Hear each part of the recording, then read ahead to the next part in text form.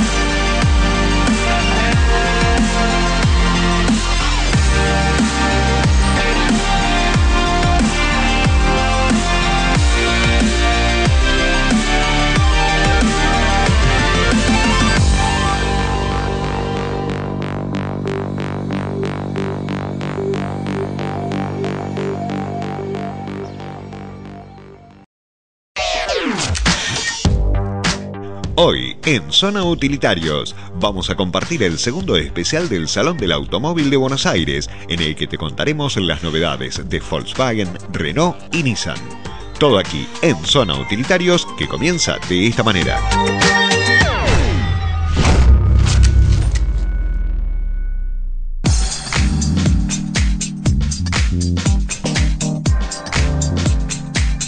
Comenzamos un nuevo programa especial para repasar más de lo que nos dejó el Salón de Buenos Aires en materia de vehículos comerciales, utilitarios y pickups. Y comenzamos la visita por el stand de Renault. La Casa del Rombo es la que más ruido hizo en la muestra porque Renault Argentina tuvo el privilegio de tener en su espacio dos modelos inéditos en el mundo, la pickup Duster Oroch y el Sandero RS. Dialogamos con Alejandro Reggi, director comercial Renault Argentina, quien se refiere a la pickup que se destacó por ser la principal estrella. Duster Oroch, nuestra entrada en el segmento de pickup. Como sabés, eh, Renault es una de las pocas generalistas que no estaba presente en el segmento de pickup. Entramos eh, de entrada en el segmento de pickup compacta. El auto proviene de, de la Duster, o sea, del segmento C, por lo cual tiene una gran ventaja con respecto a sus competidores porque el peso la carga es la misma, pero la habitabilidad que tiene es exactamente igual a un auto, a una pickup de una tonelada. Verdaderamente tiene cuatro puertas y cinco plazas cómodamente sentados, lo que no ocurre con respecto a la competencia. Además la caja, por ser el auto más largo y más ancho, tiene mayor capacidad y va a tener la motorización que tiene hoy la Duster, el motor 1.6, el motor 2.0 y el equipamiento que tiene la Duster también. Así que claramente es un, es un auto que viene para nosotros a crear un nuevo segmento, porque no es una pequeña pickup, por supuesto que no es una grande, y también es muy importante porque nos abre el camino para la próxima pickup para el año 2017-2018. La Duster Oroch marca la llegada de Renault a un nuevo segmento y nace de un proyecto regional. Es un proyecto regional esto. Primero, no está presente Renault en, en las pickup. Y lo que segundo, lo que se vio es que existe dos clases de pickup aquí en Argentina. Por supuesto la pickup grande, la, de la del campo, pero hay un montón de uso de, de estas pequeñas, pequeñas pickups eh, más compactas o más chicas o medianas, llamarle como quieras, pero con, con un peso de, con una carga de 650 kilos, porque cuando vemos la carga de una tonelada, hay que cargar una tonelada, una persona tiene que cargar una tonelada. Entonces, estas pickups son muy utilizadas para el trabajo, pero también se ve que son utilizadas también como vehículo de pasajero. Entonces lo que tiene, que creemos con la Oroc, es, la, unión o la mezcla de las dos cosas. O sea, del auto de trabajo, pero también el confort y la habitabilidad lo que, de, de una Duster normal. Así que seriamente que creemos que el auto está destinado a ser un éxito en el mercado argentino. La Oroch Pickup se ofrecerá con motores de 1.6 y 2.0 litros, en variantes con tracción delantera o integral. Su comercialización en la Argentina está confirmada, pero veamos cuándo se producirá su arribo. Última semana de noviembre, primera semana de diciembre tenemos el plan de lanzar eh, Renault Duster Oroch en Argentina.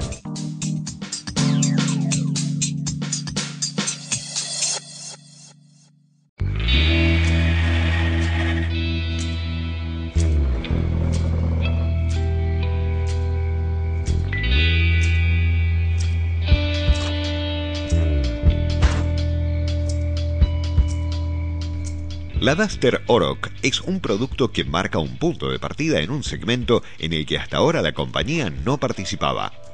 Y tal como lo indica su nombre y lo sugiere su imagen, está basado en el SV Duster. De hecho, respeta la trompa, las puertas y los guardabarros y paragolpes.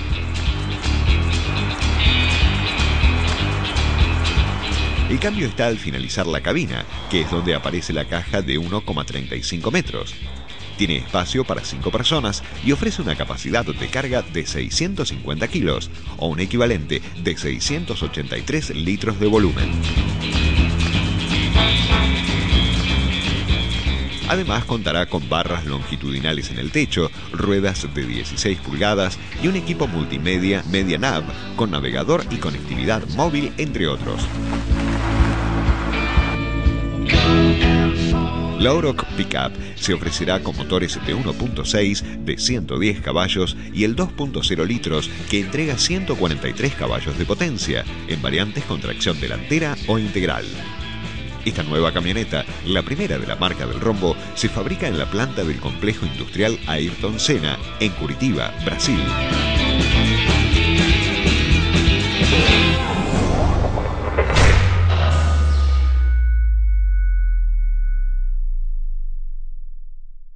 Enamórate de su capacidad, confort, potencia y seguridad. Enamórate de tu nueva compañera de trabajo. Nuevo Sprinter de Mercedes-Benz. Automotores Aedo, concesionario oficial Mercedes-Benz. Aspen, división comerciales y postventa inmediata para su línea de utilitarios livianos, Transit y F4000. Estamos en Campana, Zárate, Escobar y Varadero. Teléfono 03489 434 200. Tu Transit o F4000 están en Aspen Motors, concesionario oficial Ford.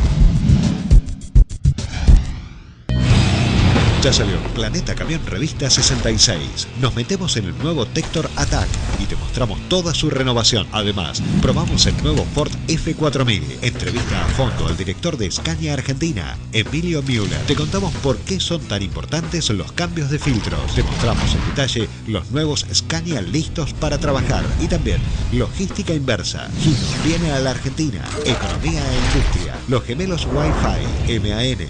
Suspensiones Argentina. El nuevo Fate Cargo SR260, TC y mucho, mucho más en Planeta Camión Revista número 66. Ya está en tu kiosco.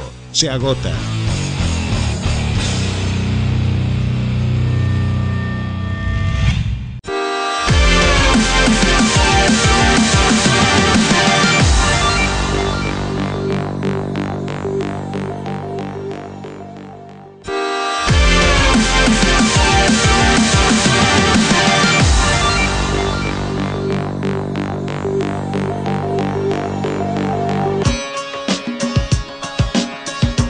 Ya nos ubicamos en el stand de Volkswagen, la compañía germana que ha dejado en claro que quiere liderar en todo, porque así como se mantiene en la cima del ranking de ventas del mercado local y tiene una de las gamas de productos más amplias, en el reciente Auto Show fue por la misma senda y fue la marca que más vehículos expuso.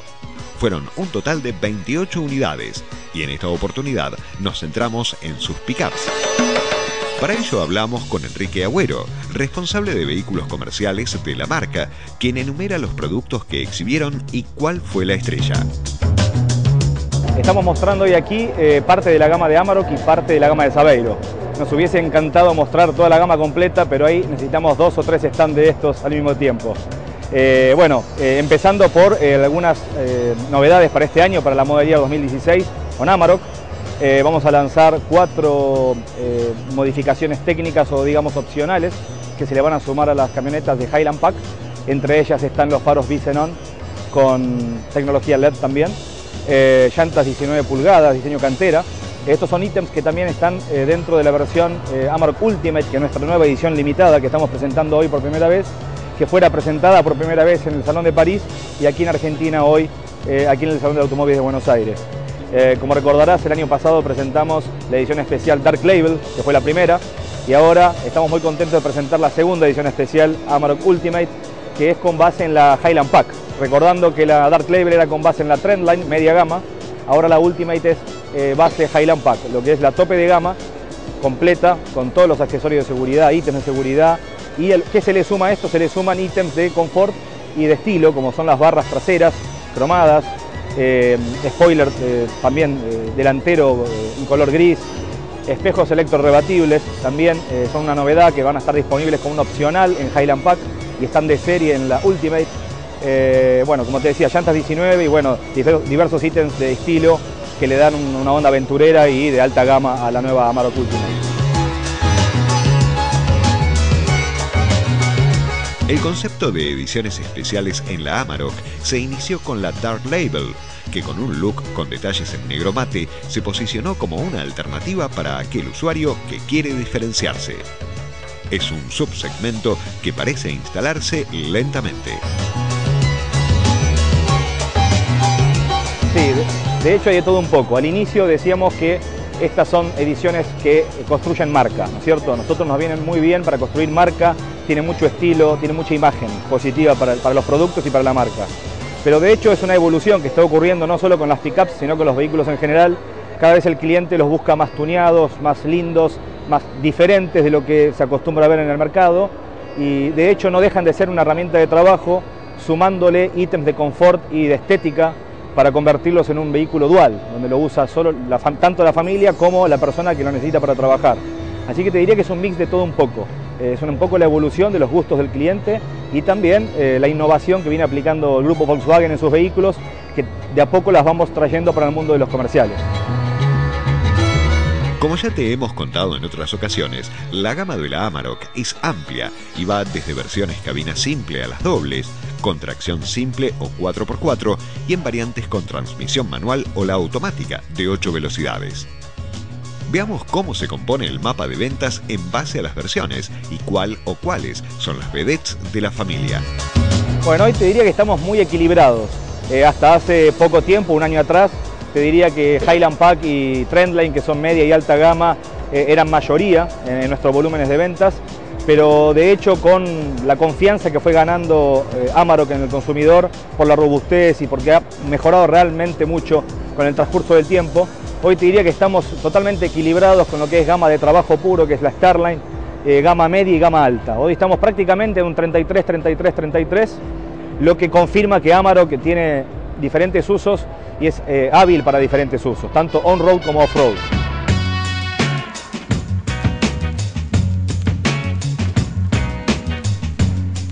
En el séptimo Salón de Buenos Aires, además de la Amarok Ultimate y otras versiones de esta camioneta mediana, la marca germana mostró la nueva Saveiro en su opción aventurera denominada Cross.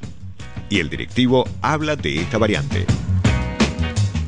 Y también eh, estamos representando aquí en el Salón de Buenos Aires la Saveiro doble cabina Cross, que ya lo hubiésemos mostrado allá en noviembre en lo que fue llamado la New Collection junto con Suran y Fox, y estamos presentándola nuevamente aquí. Todavía no está a la venta en el mercado, eh, estamos esperando la homologación final, eh, pero estamos muy confiados de que quizá en medio de agosto o septiembre ya podamos estar comercializándola en nuestra red de concesionarios.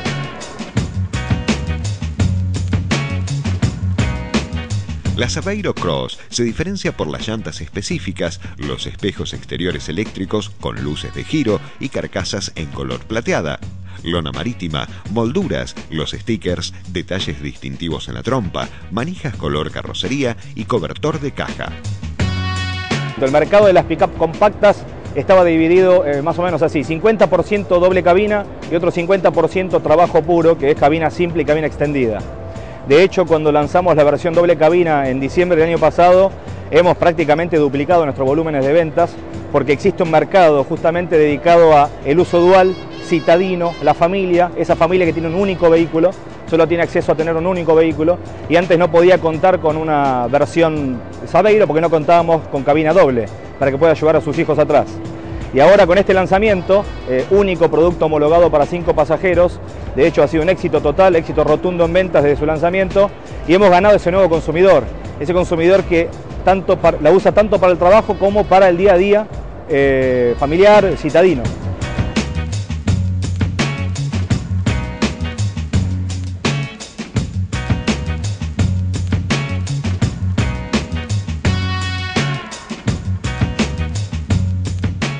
Por último, el responsable de los vehículos comerciales de Volkswagen se refiere a las proyecciones de ventas para lo que queda del año. El año había comenzado flojo porque habíamos comparado contra un año muy bueno que era enero, febrero del año pasado, pero de hecho el mercado de comerciales se estabilizó bastante. En los últimos dos o tres meses viene corriendo a un nivel muy similar a lo que era el nivel de volumen del año 2014. Eso también nos deja contentos. Esa caída que ocurrió en los primeros dos meses no se mantuvo y creemos que en lo que resta del año esta perspectiva se va a mantener. Yo me imagino un año 2015 muy similar a lo que fue el año 2014, que es una leve, leve baja solo por causa del efecto estacional de enero y febrero. Pero tanto el mercado de las pequeñas como la, la Sabeiro como el de Amarok están realmente mucho mejor que el mercado de vehículos en general.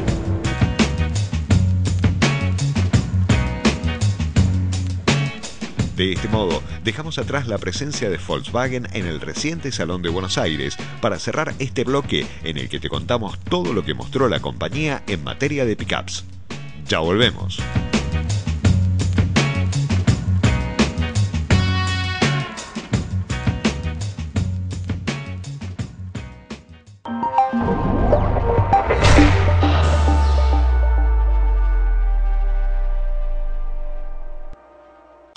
Maxion, ruedas y llantas para transporte de carga y pasajeros. Sabemos de qué hablamos cuando hablamos de seguridad.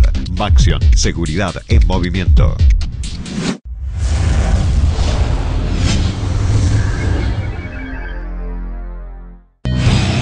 Ya salió Planeta Camión Revista 66. Nos metemos en el nuevo Tector Attack y te mostramos toda su renovación. Además, probamos el nuevo Ford F4000. Entrevista a fondo al director de Scania Argentina, Emilio Müller. Te contamos por qué son tan importantes los cambios de filtros. Te mostramos en detalle los nuevos Scania listos para trabajar y también logística inversa. Hino viene a la Argentina. Economía e industria. Los gemelos Wi-Fi, MAN, suspensiones Argentina, el nuevo Fate Cargo SR260, TC y mucho, mucho más en Planeta Camión Revista número 66. Ya está en tu kiosco. Se agota.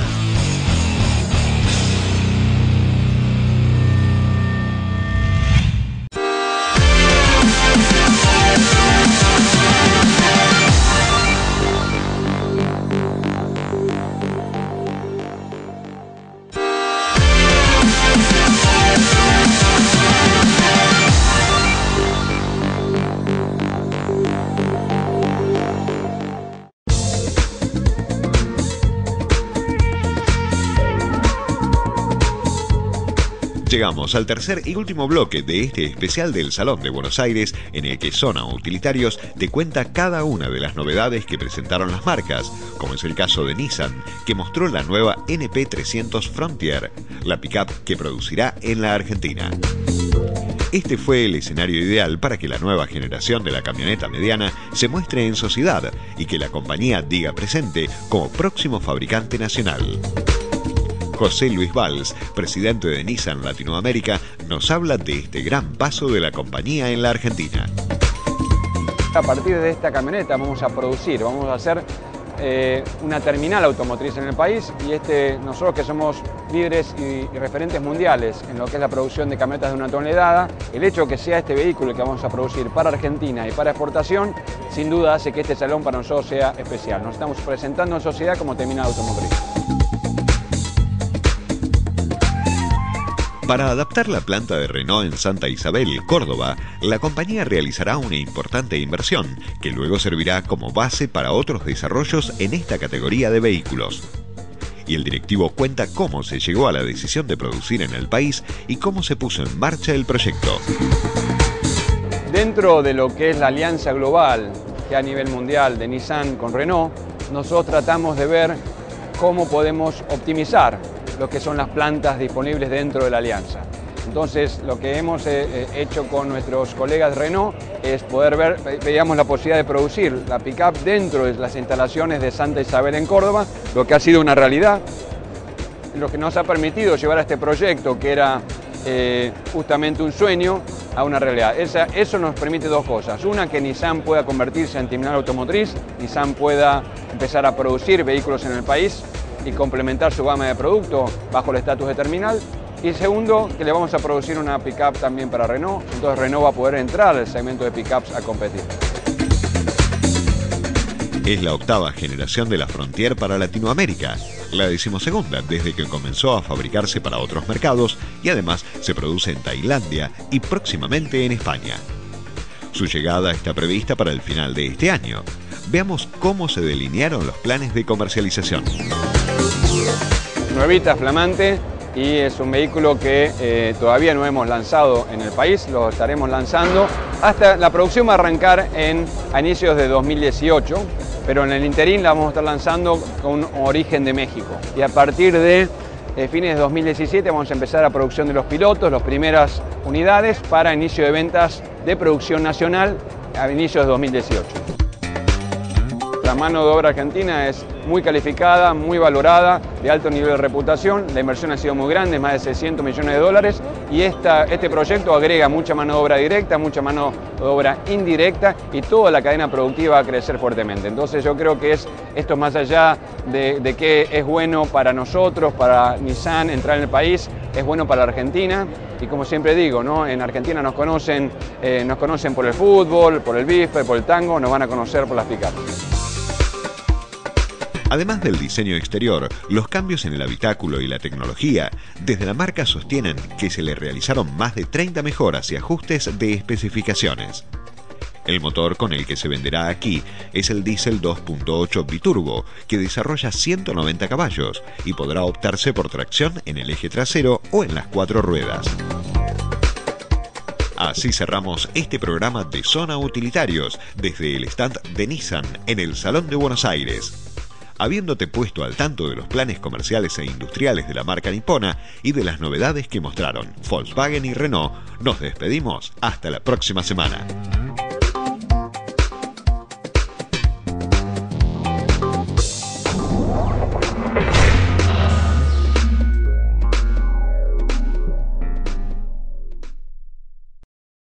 Enamórate de su capacidad, confort, potencia y seguridad.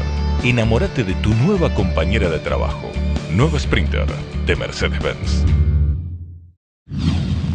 Automotores Aedo, concesionario oficial Mercedes-Benz. Maxion, ruedas y llantas para transporte de carga y pasajeros. Sabemos de qué hablamos cuando hablamos de seguridad. Maxion, seguridad en movimiento.